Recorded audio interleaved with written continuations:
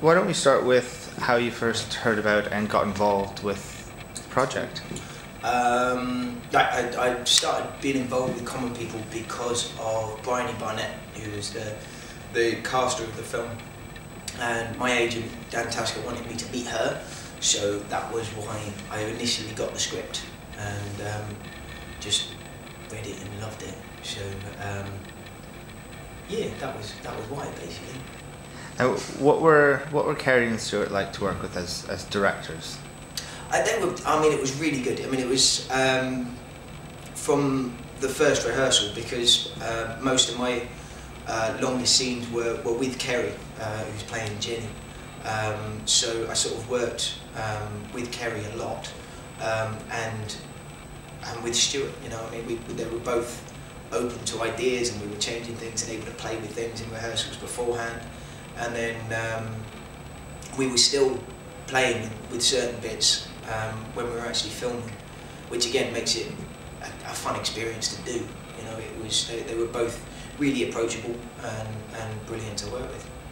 So when you first read the script, though, did you know you were looking at the part of homeless? At homeless, yeah, yeah. When I first read the script, I knew it was it was for homeless, and um, I mean, I loved the film. I had, um, I was on the train reading it, and I, I almost missed my stop because I just wanted to get to the. I won't say what bit I almost missed the stop on, but um, it was just an awesome little film.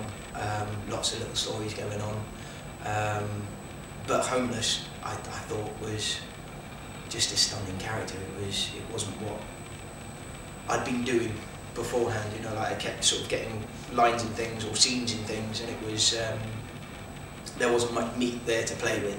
Whereas with Homeless, there's a lot of screen time, but so few lines that it was the complete opposite of what I'd been doing, and um, it just really attracted me. There were there were so many clues as to where Homeless could be from or what he could be doing, um, but there was very little definitive information. So it was just gave you so much room to play, and that was really exciting.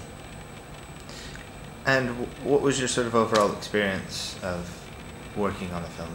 It was good. It was really good. It shouldn't have been um, because we were in the middle of a common and it was cold and wet for the vast majority of the time. But um, it was it was a small group of lots of people that all seemed to love the film um, and just wanted to do the best job. And it just made what could have been very unpleasant.